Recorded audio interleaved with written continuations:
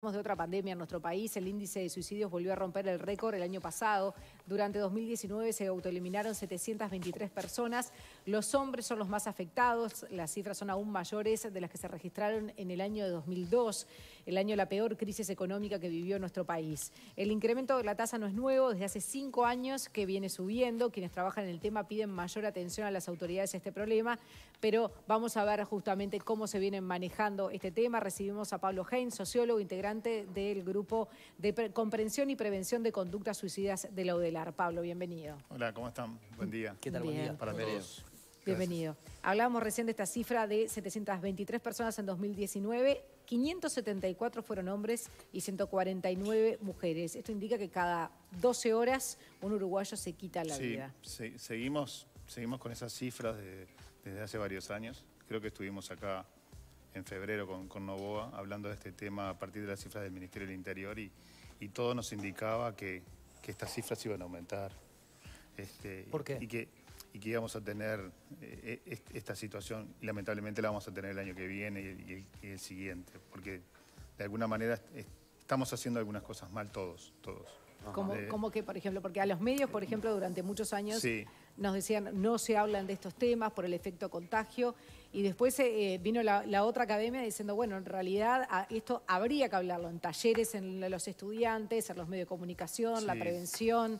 El, tema es, complejo de por sí, ¿verdad? Es un tema complejo porque es un tema histórico, es un tema que causa dolor también, eso es importante decirlo. No solo la familia afectada, sino los seres queridos también. Y es un tema que causa dolor y está encapsulado, entonces tampoco se habla eso. No se habla porque por el enigma y el estigma que genera, sobre todo el estigma, sobre todo porque al resto nos es más cómodo no hablarlo. ¿Se entiende? Claro. Eso es en primer lugar. Entonces, como es multifacético, tiene varias aristas o, varias miradas. Lo importante es que el Uruguay tiene condiciones para, abordar esas, esas, diferentes miradas. Y ya voy específicamente a tu pregunta. Entonces, eh, eh, hoy ustedes, mm, vine yo, podía haber venido Novoa, La Robla, Canetti, psiquiatra, psicóloga, es decir, los, puntos de vista son, son varios. Nuestro grupo tiene esa, virtud que nos, nos conjugamos todos. Eh, decía, por varios años o por varias décadas, y esa biblioteca, esa biblioteca de, no hablar se dejó de usar. En Uruguay tenemos la evidencia empírica, por decirlo de alguna manera, de que no estamos hablando en los últimos 20 años y, y los casos se están aumentando, no en los últimos 5, sino varios años atrás. Entonces me parece que hay que hablar del tema. Tampoco es hablar y decir, bueno, hoy hay 8 grados de temperatura, se suicidaron 4. Claro. Eso tampoco y no ponerse a hacer una cobertura del tipo de los accidentes de tránsito, por ejemplo. Exactamente. Y si me permitís el atrevimiento, muy atrevido, tampoco lo que salió en la prensa la semana pasada, un mapa del Uruguay con, con las cifras de los departamentos, creo que no contribuye porque no, hay una reflexión por detrás, ¿se entiende? Sí. ¿Qué podría hacer la prensa o qué puede hacer la prensa? Lo que está haciendo la prensa a nivel internacional es hacer algún documental en donde el profesor de secundaria lo pueda ver, la enfermera lo pueda ver, el vecino y la vecina lo pueda ver, si se enfrenta a esa problemática con una reflexión por detrás y con unas posibles vías de... Eso puede ser el periodismo. No es un tema para abordar en titulares... No, no, no sería justo, digamos, abordarlo en titulares. Capaz que sí abordarlo en algún momento y hacer, se entiende, coberturas. Por ejemplo, el diario El País de Madrid, si me permiten, eh, eh, tiene documentales muy importantes. Entonces la gente sabe dónde recurrir, sabe que ver ese documental, sabe proyectarlo en una escuela, en un club deportivo, ¿se entiende? Entonces con la, con la información hay que ser muy cautelosos en ese sentido. No ocultarla, por, supuesto que no, porque eso lo venimos haciendo hace 20 años. Ahora, Pablo, me parece que me, parece que, déjame terminar la idea un poco, la mea culpa es de todos, de, Pablo como padre y compañero de familia, como profesor de la universidad, como vecino, como del grupo universitario también, ¿se entiende? La academia también tiene mucha culpa en esto, que nosotros investigamos y nos quedamos para adentro. El otro día un, un colega de ustedes decía, sí, pero ustedes investigan y no salen para... Es verdad, claro, sí. Es como abordamos el tema todo, no solo los medios, sino la sociedad en su conjunto, lo que, lo que tenemos que, revisar. Eh, porque, sí. porque este tema es, es, es de todos. Porque este tema no, no, no, lo podemos ver simplemente, o ya no es suficiente verlo desde el punto de vista médico, ¿sí? o desde el punto de vista sanitario. Porque el otro día le decía a un colega de ustedes, el partido se está jugando dentro del área y tenemos que sacar la pelota del área. Porque en el área puedes cometer un FAO, puedes cometer un penal con la mano. Y, el psiquiatra y el psicólogo no, ya no pueden más con este tema. Y no, es aumentando el salario del psiquiatra, no es poniendo 20 psiquiatras más o 40 horas más de terapia. Porque el individuo que llega al área, ya está como predeterminado. Entonces el partido lo tenemos que sacar. Que no llegue al área. Claro, lo tenemos que sacar del área. Es decir, y para no sacarlo del área, ¿quién está? Estamos todos nosotros. dijiste una, frase en, la diaria, una entrevista que te hicieron, que me encantó el concepto, que dijiste que una clave es preparar a las personas desde pequeñas dijiste, con un currículum emocional. Sí, eso es un concepto que maneja mucho, se maneja mucho en el País Vasco. ¿sí? Este, básicamente lo que se está manejando allá es eso, transmitir valores sociales, culturalmente integradores, solidarios, ¿sí? en un sentido muy amplio. Es decir, esto que veníamos hablando, eh, ¿sí? el Uruguay también tiene esa oportunidad. No, no, no. En, este, en esta materia creo que la mejor política que podemos hacer y la deberíamos hacer ya hace años es abrir la ventana y mirar lo que están haciendo en otras partes. ¿Y cómo mejoraron eh, eh, los que están haciendo esas cosas? lentamente, lentamente, ¿se entiende? Saquemos el tema del suicidio. El año pasado, por ejemplo, en el País Vasco, perdón que remita ahí porque estamos trabajando mucho nosotros con, con el País Vasco, también con México, también con Colombia, también con Chile. Tenemos una red bastante amplia, porque el Uruguay es paradigmático para el resto del mundo. Tenemos una buena ley de salud mental desde 1986, tenemos una Comisión Nacional de Prevención del Suicidio, honoraria, y tenemos estas tasas. Y la gente se pregunta, che, Pablo, ¿qué pasa ahí? ¿Y qué le respondes? ¿Qué pasa ahí? ¿Y qué le respondes a los colegas cuando te preguntan Bueno, muchas cosas le respondemos. muchísimas cosas que no nos daría el tiempo, pero en realidad es que, tenemos una, decimos algunas cosas o sostenemos algunas cosas y en, el interior no. Que el tema está encapsulado en principio en, esta, en, materia sanitaria es importante también hacer conciencia. Entonces, volviendo a esa metáfora de salir del área, ¿quién puede salir del área? Todos nosotros, todos nosotros. En el sentido de los profesores de secundaria que están a, están muy están con cuatro manos los profesores de secundaria, no es para este tema. No es que todos los profesores de secundaria tienen que ser psiquiatras y psicólogos. Lo que sí tienen que tener los profesores de secundaria, aquellos que tengan cierta sensibilidad con estos temas y estos temas afines, tengan donde informarse y no tengan miedo donde informarse. Y si me permitís, para cerrar esto, hay un ejemplo muy lindo, sí, que es bueno decirlo, es el, el estudio que se hizo en Argentina por UNICEF, que es una agencia internacional, ¿sí? sobre el suicidio juvenil en Argentina. Ese es un ejemplo que todo profesor de, secundaria, todo profesor de educación física lo debería de leer, aquellos que estén interesados, digamos, en esta temática. Porque ahí claramente se muestra desde las estadísticas, desde una metodología más cualitativa de los relatos de los jóvenes, ¿sí? desde una mirada psicológica a una mirada también social o sociológica, si me permitís. Entonces, hay, hay, hechos en el mundo que de alguna manera están, están revirtiendo. Chile también está trabajando muy bien en la temática o está trabajando bien. Y es un tema que hay que empezar a trabajar porque esto lleva años. Europa estuvo 20 años para reducir un 19% en promedio. ¿Se entiende? hay que empezar a trabajar para 20 años por lo menos. Sí. Me quedan varias dudas. Este, sobre el tema de, que la sociedad calla ante este tema, la verdad que no me, no me recuerdo una, anécdota cuando hace muchos años yo dirigí un suplemento en el diario El País y vino una, una un estudiante que tenía un informe hecho muy bueno sobre suicidio, estamos hablando de hace 15 años más o menos, tenía cifras muy impactantes, era lo mismo que hoy, digamos, básicamente. Le dije, bueno, me, parece muy bueno eh, publicarlo, pero está esta, esa idea de que si hablamos de suicidio se genera el fenómeno de imitación. Entonces dije, quiero que aparte de todo el trabajo que has hecho yo para, para comprarte este informe, porque era una colaboradora externa, eh, hables con dos o tres referentes y que te digan si publicar esto es bueno o es malo. Y ella hizo ese, trabajo y me acuerdo que uno era Dajas de Clemente Estable y, no recuerdo quién más. Decían, no, no, publiquenlo, hablemos de esto, ya eh, guardar silencio no sirve más porque nos ha llevado a este punto. Así que se publicó, lo publiqué en muchas páginas, fue la tapa, en fin. Así que tampoco es que hemos guardado silencio tanto. yo por lo menos hablé. es verdad, Leo. por supuesto. Y, he leído acá mismo hablamos, pero no es un tema que en la sociedad ocupe el lugar. Por eso yo decía, no, no, tanto los medios. A lo que voy también es esto. Porque también está un poco el cómo, ¿no? Porque si uno, por ejemplo, dice, fulanito tenía deudas en, la empresa por la pandemia, se le fundió, se tiró bajo del tren, esperó que el tren pasara a tal hora, en fin. Y eso para el que está deprimido, para el que tiene una, un, un problema psiquiátrico, que no está pensando como la persona normal, no se le puede presentar como la solución. Que, está, dentro, del área ya. Claro, que ya está dentro del área. No es la.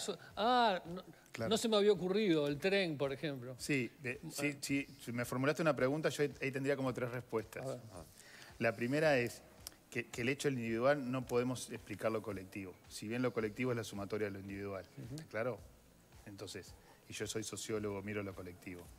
Eh, creo que una de las fallas que está señalado en el informe de UNICEF, ahora me hiciste acordar, es que justamente se dice eso. Es, un, es un, objeto o es un, es un, tema que se da vuelta ¿sí? y, se, y se, se ven diferentes caras.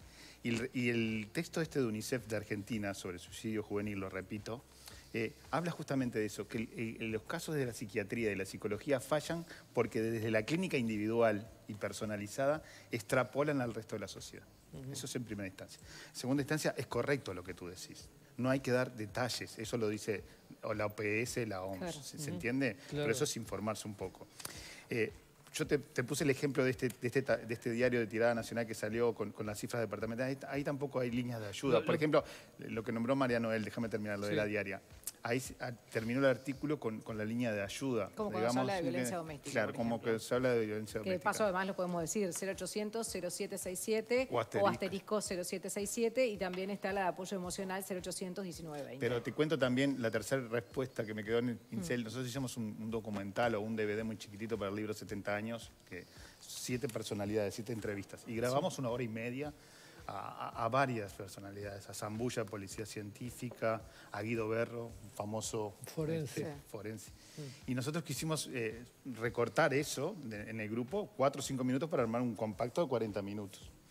Y, llamamos a un licenciado en ciencia de la comunicación, que ahora ya trabaja con nosotros. Y, la selección nos dice, bueno, ¿qué querés de Zambulla, por ejemplo? ¿O qué querés de Guido Berro? ¿Qué quieren ustedes? Lo que les seleccionó Claudio fue piezas, o cuatro minutos, tres minutos de Guido, por ejemplo, diferente a lo que habíamos seleccionado los, once académicos que estábamos mirando eso, ¿se entiende? Entonces, ¿qué puede aportar el periodismo? Puede aportar en ese sentido puede aportar en cómo divulgar, cómo comunicar, informarse en eso. Como en, los, tantos temas, ¿no? Crear una cercanía entre, entre los expertos y, el resto de la Pero El tema de suicidios y, conexos también. No, y, conexos, y no estamos cometiendo el pecado de en algunos conexos o, problemas, otros problemas que tenemos como femicidio, abuso sexual infantil, estar dando los detalles permanentemente. La, la, la literatura dice que sí. La literatura dice que sí, que dar los detalles no, no, no, no encausa. Eh, si me lo preguntás personalmente, creo que tampoco ayuda mucho porque lo que uno pretende es dar las, dar las explicaciones o las comprensiones de esto, sobre todo para trabajarlo, sobre todo para aquel, y vuelvo a insistir con el profesor de secundaria, discúlpenme que no es una, la única solución, ¿verdad? Pero ponemos ese ejemplo para que la teleaudiencia entienda. O el profesor de educación física, por ejemplo, ¿sí? que está en los baby fútbol, que está en la liga universitaria, que está en los clubes que están en los, complejos deportivos, que están todos lados. Que esté sensible la temática no del suicidio, la temática de, del manejo de las emociones. en la vida, claro, las, cosas por las cuales realmente uno puede llegar. Pero, perdón, Facu. ¿Cómo nos conducimos? ¿no? Porque una vez en el área, después estaba, como vos decías, la psiquiatría, las terapias, los medicamentos, las pastillas. ahí ya pasaste, ¿no? Ahí ya pasaste. En, los por qué anteriores, eh, quería pararme yo. ¿Qué pensás sobre los por qué? ¿Por qué llegan los jugadores al área? Espera, te voy a contestar eso, pero primero es importante también esto de que ya llegó al área, porque el psiquiatra está desbordado y, ve el psiquiatra o el psicólogo, los que están en el sistema sanitario básicamente, que el sistema sanitario tiene que ser más integrado a otras disciplinas, ven tantos casos que el caso real que llega ya es desestimado y no, y no, no se lo aborda, digamos, humanamente en las condiciones. ¿Por qué? No porque esas profesiones sean malas, que quede muy claro.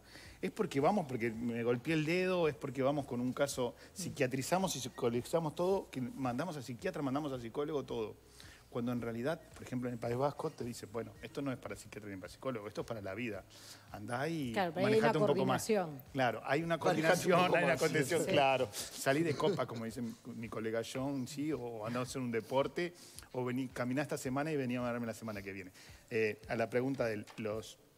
En Uruguay lo que está pasando es, el, fenómeno es, complejo y tendríamos que empezar a hablar, como en otras partes del mundo, también suicidio en, suicidio en y suicidio en. Una cosa es la tercera edad y otra cosa es lo que está pasando ahora, que es, que es más masculino.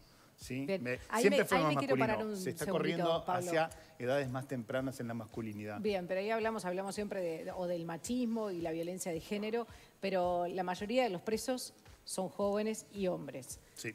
Los suicidios, eh, decíamos, la mayoría son entre hombres, también jóvenes. Eh, cuando hablamos de, la cantidad de violencia en general es ejercida por el hombre. ¿Qué es lo que está pasando? Porque también ahí puede estar esa cuestión del machismo, de decir, no, el hombre no llora, el hombre no se deprime, el hombre no pide ayuda. Sí, en parte también pasa eso, ¿sí? Este, la, explicación de por qué es tanto en el hombre puede venir de los aspectos netamente biológicos o, neurotransmisores hasta aspectos netamente sociológicos. ¿Está claro? Yo creo que el hombre tiene, yo creo no también lo dice Danilo Martuchelli, algunas teorías sociales, soy sociólogo y esos lentes me pongo, disculpan, ¿sí? Eh, eh, nos enfrentamos a pruebas y tenemos determinados soportes para pasar esa prueba. Sobre todo esas pruebas son bastante más exigentes en la masculinidad. ¿sí? La distribución de los soportes que tenemos para enfrentar esas pruebas, ¿qué son esas pruebas? Ser masculino, ser exitoso, ser, ser hombre, eh, tener familia, se nos van inculcando desde pequeños. y los soportes que tenemos para pasar esas pruebas, donde nos amparamos para eso, que no necesariamente son económicos, también son emocionales, son diferenciales en la sociedad. Entonces ahí también eh, ocurre algo de eso.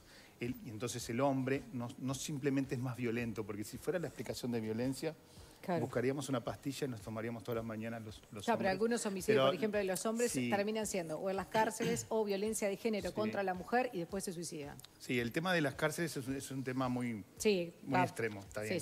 No tenemos que irnos para ahí pero está correcto. Pero no pasa en la cárcel de mujeres. Claro, está bien tu, aseveración. también hay más cárceles masculinas que femeninas. Sí, también, y muchísimos más presos son. Y las condiciones son muy distintas. No, también. no, nos distraigamos del tema, No, no, el tema que con las cifras, viste, podemos...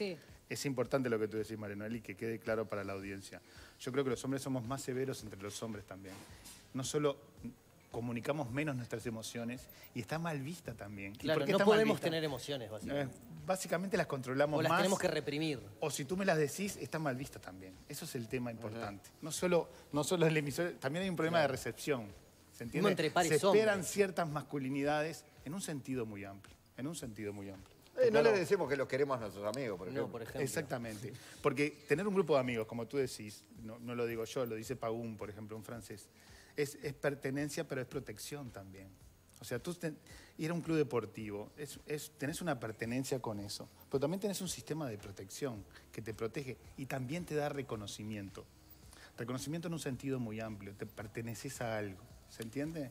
Entonces la exclusión de un compañero de club, por ejemplo, la exclusión de un compañero de trabajo, de alguna manera también generando.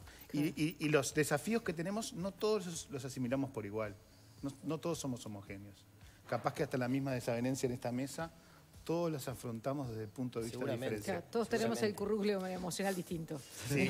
y la libreta de conducirnos en la vida, sacamos diferentes puntos. Eso también es importante. Pablo, eh, tenemos que cerrar, pero no quiero dejar de preguntarte por el momento puntual, porque estábamos hablando de la cifra de 2002, superada en 2019, y estamos en un momento de pandemia donde hay muchas incertidumbres y miedos en esta época de encierro, de salud, de la economía. Eh, ¿Qué ha, dado la historia en, en, estas Mira, se habló mucho ahora en, el confinamiento, digamos, sobre el tema suicidio y el, aumento de la llamada la línea vida. ¿Sí?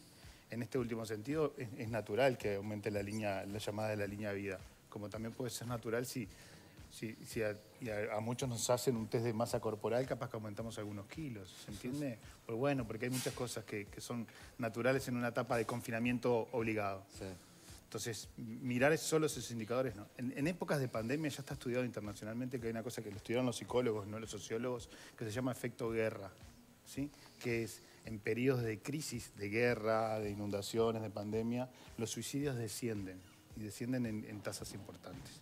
Entonces, todo podría indicar, esto lo vamos a ver el año que viene. ¿Ahí sí puede ser porque se les da más apoyo? No, simplemente porque hay una preocupación de salir de esa situación donde se vio obligada la sociedad a entrar. Te sentís parte de algo también, también parte, ¿no? Estamos todos peleando por esto. También la preocupación no es tanto individual, sino que es más colectiva, es verdad. Yo averigué algunos datos, sin entrar en el detalle porque son cifras primarias, pero en los primeros meses de la pandemia, que por esos datos de la línea me habían generado preocupación, la referencia fue que efectivamente el efecto fue ese. Sí, en Uruguay. hay un descenso, eh, va a haber un descenso el año que viene, lo vamos a ver en, si comparamos, por ejemplo, 13 de marzo, 1 de mayo de este año mm. con este mismo periodo en años anteriores. Claro.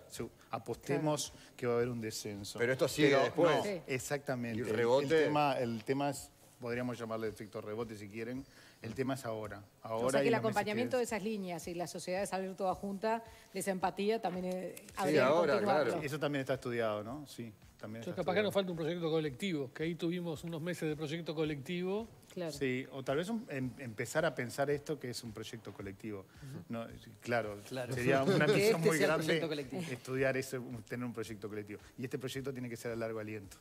También si tenemos un proyecto para los dos o tres años que viene, seguramente fracasemos. Nadie va a querer entrar en ese proyecto. Pablo Hein, muchísimas gracias. Gracias. Tenemos que actualizar hasta ahora los datos del tiempo.